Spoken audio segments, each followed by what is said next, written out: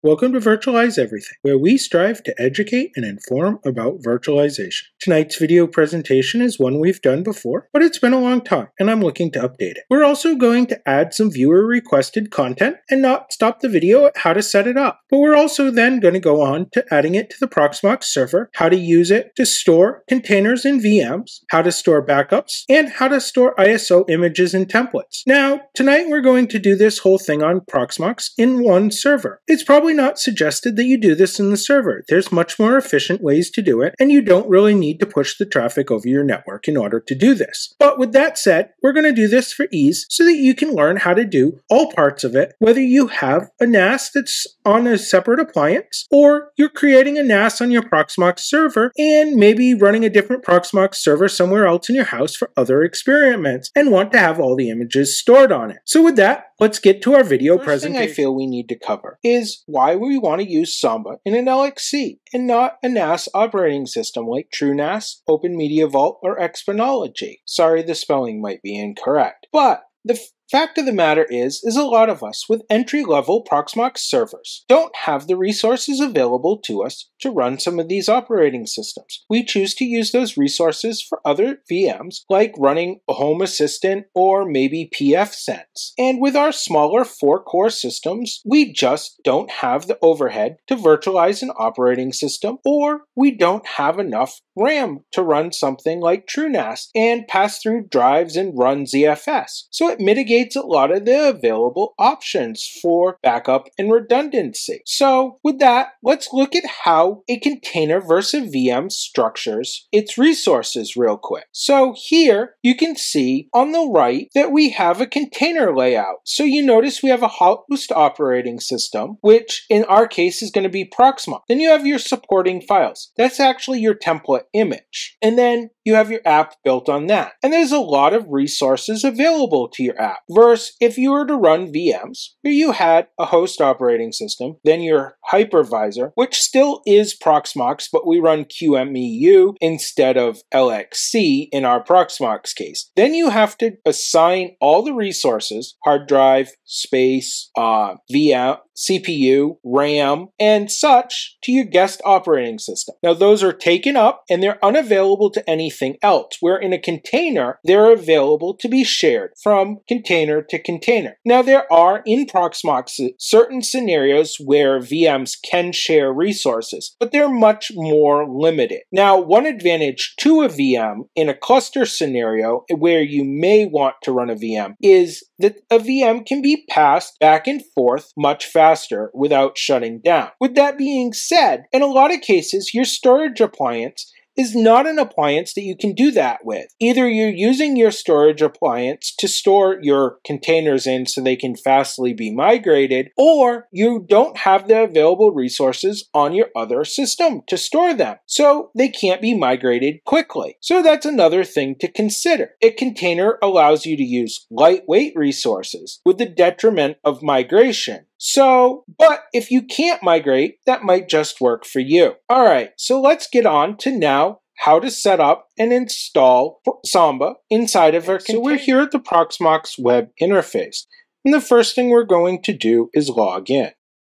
Now that we've logged in, we need to make sure that we have a template for the container. To do that, we're going to go to local and we're going to go to CT templates. Now you can see I have the template here, but if we didn't have the templates, we'd click template, we'd select the template and then press download. I'm not going to download our template today because, well, I already have the template. So now that we have the template, we're going to go up here to the top right and hit create CT. Here, we need to give it a host name, fill out a password.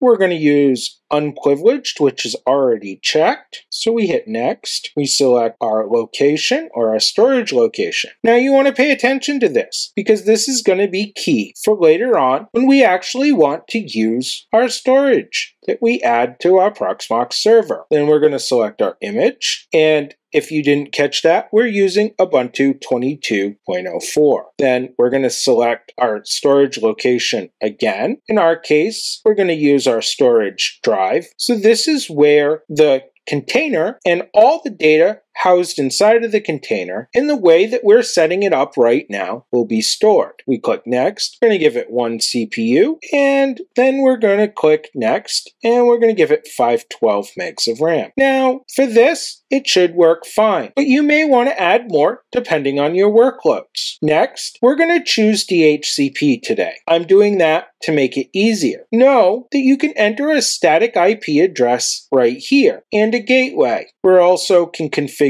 our bridges right here if we want. I am going to put this on a segment of my network that I use for containers and VMs. So I am selecting the needed network. I hit next, next. If everything looks as you want, press finish.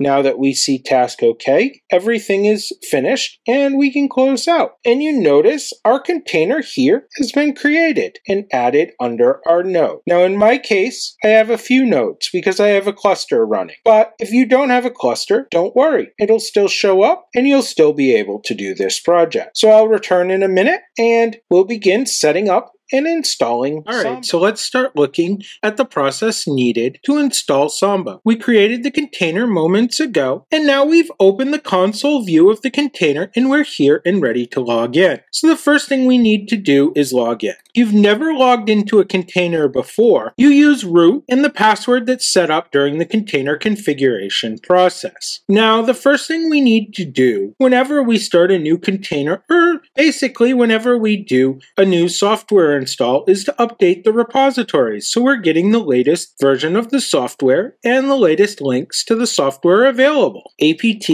update will update that repository. So as you can see here, we have 58 packages that need to be upgraded. Let's go ahead and take a moment and do that.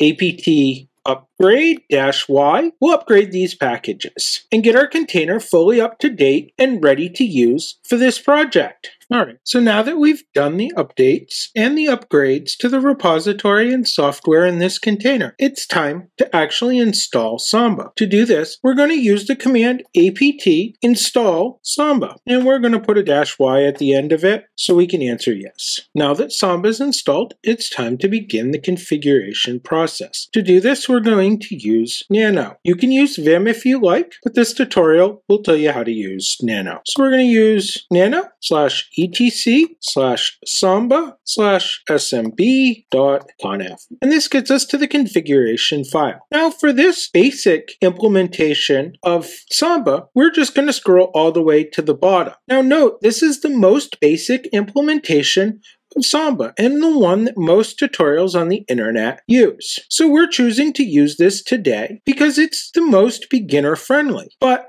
I do want to note to you that this is also the least secure implementation of Samba. So now that we're at the bottom of the configuration page, we're going to type in brackets, the name of the share, which we're calling Samba share today, and then we're going to add three spaces and we can comment Samba share on Ubuntu or whatever. Notice this is copied directly from the Ubuntu tutorial. Then our path to where we want to store our files. And we can edit this for ourselves here and we'll put it in the home directory of a user called test that we've yet to create. Read only is set to no, so we can write to this file, and it is browsable. So now we can press Control X and Y to save, and we need to set up the user test. To do that, we're going to use the command add user and we're going to add test. Now we'll give it a password. So we have a user test. So if we were to ls, there's a file. It's not displaying as no file. So we have some place for the share to work. So now we need to reboot Samba so that it, the changes take effect. Service SMBD restart. And now we should have a working Samba server. I'll be back in a minute to show you how to use this on the Proxmox web interface and how to store different items using Proxmox before we move on to adding this Samba server to the Proxmox. We also need to create a Samba password. Now the Samba password is a little bit different from the password that we created for the user, and we have to use a different command to do that. So the password command today to create a Samba password that we're going to use is smb passwd-a and then the username. In our case, it's test. Now we can enter the password that we desire to use. Right. And welcome back to the Proxmox tutorial on adding the Samba server to your Proxmox setup. So we've created the Samba server or SMB share or however you want to refer to it. And now it's time to add it into our Samba server. Now as I've repeated many times before, it's not suggested to add the share to the same server that you're sharing it on. It's kind of network traffic inducing and really not a good idea. But here we have another Samba server, or rather another Proxmox server that we virtualized from the cluster that we originally set up our share on. Here's our share right here. I just went ahead and virtualized this for the demo for the video. This is also not suggested, but it works great for showing things without actually messing up my cluster itself. All right, so here's the virtualized Proxmox environment. And in order to add the SMB share, we're going to select data center and you see that already in blue as you can't see my mouse. Where was that PVE? or our node. This is what it would look like. And here's the summary on our node. We're going to select data center. And this is how your summary initially looks for your data center if you have no configuration done. All right, so then we come down to storage. So now you notice storage is blue. And we click add and we go to the SMB slash CIFS tab. And we're going to give it a ID. Our server is going to be the IP address. In our case, it's 192, 168, 3, 22. Our username we set up was test, and we enter our password. Now we should see our Samba share appear, and then we can go here, and by default, disk images are checked. We're going to cover where to store ISOs, container templates, backup files, and containers in this video. So I'm going to check and highlight all of them as blue. Now we can hit add, and you notice the video mount for the SMB appears here, and video appears over here. And the sizes look semi-correct. Okay, so that's all it is needed to add a Samba share or SMB mount on your Proxmox server. Coming up next, I'm going to show you how to back up, create a VM that stores on it, create a container that stores on it, and how to store ISO images and templates on your Samba share. All right, I'll be back in a few minutes. Okay, so it's been a few minutes my time. It's only been a couple of seconds your time. But we're here now at the Ubuntu download page, and I've navigated through to the final download page. What we want to do here is where it says download now, which you see an underline appearing and disappearing at, we're going to right click. From that right click, we're going to select copy link. Now, if you're on Linux or a Windows machine, your terminology may differ a bit. But what you want to do is copy the URL address to the file that you're downloading. Then we're going to come here under video and we're going to go to ISO images. And then we're going to select download from URL and we're going to paste our URL in. Now we'll query the URL, which will give us the file name that Canautilus or Ubuntu intends on you using for the file. Now the last step that I like to do, but you don't have to do, is to check this advanced button here and then our hash we can set to 256 and we can come up over here and where you see the underline appearing, uh, verify your download, click on that and we can actually select this string of numbers and letters here, and we can copy that and come over here and paste it in at checksum. Now this will actually do your hash for you immediately after the ISO is directly downloaded to your newly configured SMB or Samba share. So we can hit download and this will take a few minutes. So now that we're finished downloading our program, let's take a look and see where it is at on our new Samba share. So let's close it and you can see that it appears right here under ISOs. Now we're not going to go through the full process of installing the VM, as that would be extremely lengthy. But let's create a VM using both the Samba share to store the raw file or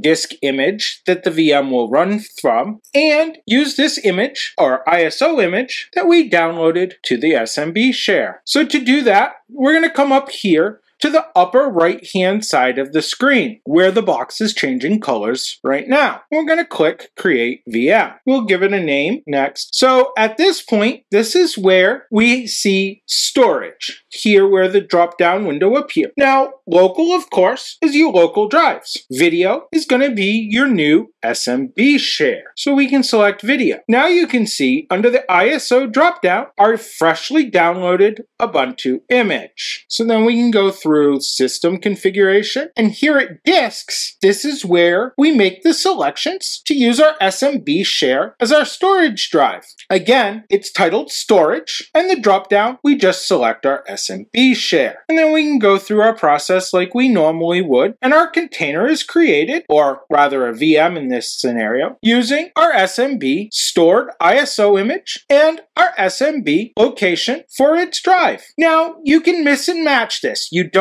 have to have your ISO image stored on the same drive as you would your RAW or your data image for the VM. You could have one on local and one on your SMB share. All right, so now let's take a look at getting a container template the same way we did for getting our ISO image. But this is actually a little more straightforward. So we can click container image here with video selected and now we click templates. At the templates window, we can actually directly download any of the templates that are viewing here. So in our case, we could do a search for Ubuntu and we see that we have 22.04 and we press that. It says task OK. Our container image has been downloaded. We can close the window and we see our container image has appeared right here. So to use this container image on our SMB share, we go up to Create CT, where the icon is changing colors, and we fill out the fields.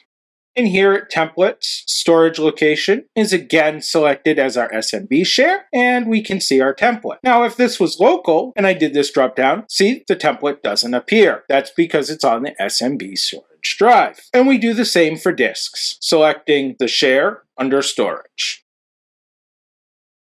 So our container is done being created and you can see the container right here. Notice the icon is a little bit different next to 101 than it is 100. And that's because one's a VM and one's a container. So let's take a look at this container and the process is going to be very similar for the VM, and we'll probably take a look at that here in a second, but how to back it up. So you select the container, so it's highlighted, then you go to backup, and you can press backup now. And again, to back up to the share drive, we're just going to go ahead and select the shared drive, and then we can press back up, and the process begins. All right, so now that we've done the backup of the container, let's take a look at how to back up a VM. The process is very similar, where you select the VM, you go ahead and select backup, press backup now, and you select the location of where you want to back up and press back up. Now I'm getting an error because of the fact that I'm virtualized here, but that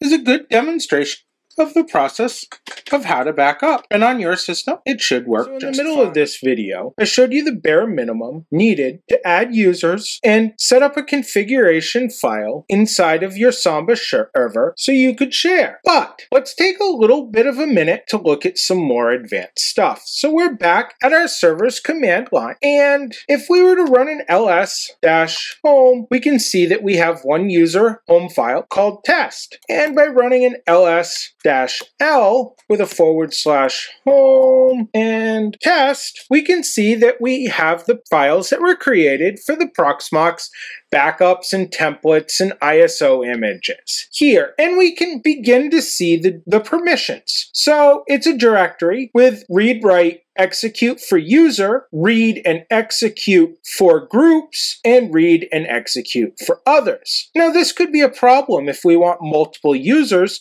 to access this file, because it's basically meant that only the user test can write files to this folder. So there's some things we could do to fix that. The first one is extremely common for people to do, and it's basically the intended way for the basic tutorials that are written by places like Canonical to do it. And you run a chmod 777 on home slash test. Now when we do that and we view this permissions, that should have changed read write execute for all. Oh, I know why. We needed to add a dash R to this, and then we get read, write, execute for all of the directories here. But this can be somewhat problematic if we have multiple users on here and we have places we don't want users to go. So something we can do here is we can actually use the command add user and then we could go test, but then we could put another comment after that for a group. So we can add the group test to add to the user test, which is what happened here. We could do the same for sudo by typing sudo after that. And that's very common on a lot of tutorials to give a user sudo privileges. So the other thing that we could look at doing if we wanted to is actually assigning the uh, user group or a group. So if we made another group and we called it VE, or in this case, we don't have a group called VE. Uh, I think this is command. And then we assign test to the user group VE. We could actually change the permissions here to allow VE. And we can do that we're running the command ch own, and we can again run this on all files, and we'll call this test. Then we're going to put a colon, and we're going to call this VE, and go home test. So now, when we view the permissions,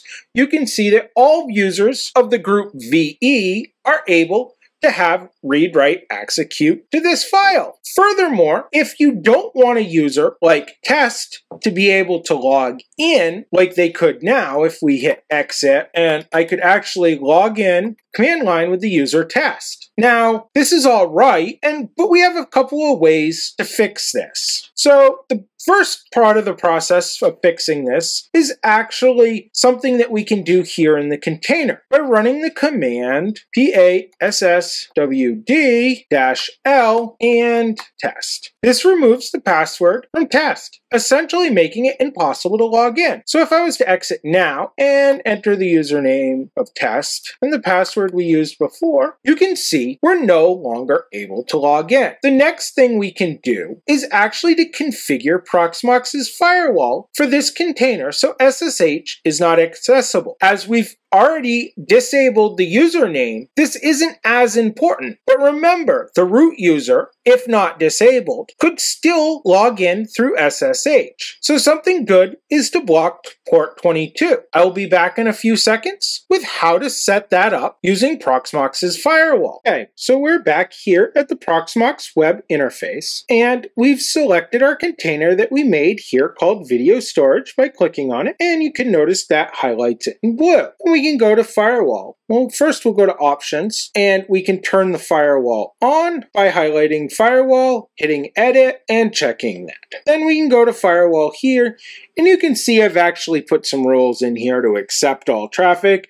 That was for a little bit of a different tutorial that we just did. But if we wanted to block SSH, we can put some rules in front of it. So if we hit add and we put incoming traffic and we dropped, and then we hit the source or the destination port of 22 on TCP, and we have to create a rule for UDP as well, and we pressed add, and then we can highlight the rule, go copy, we're going to drop traffic, but this time we're going to drop it for UDP. This will stop SSH from working on our container. And we now have added a little bit of security so users can't log into this container with SSH. And by disabling the passwords, they can no longer log in well, with that, this is going to end this presentation. I hope you all had a good night and you've learned something from it. And I'll see you again with the next tutorial.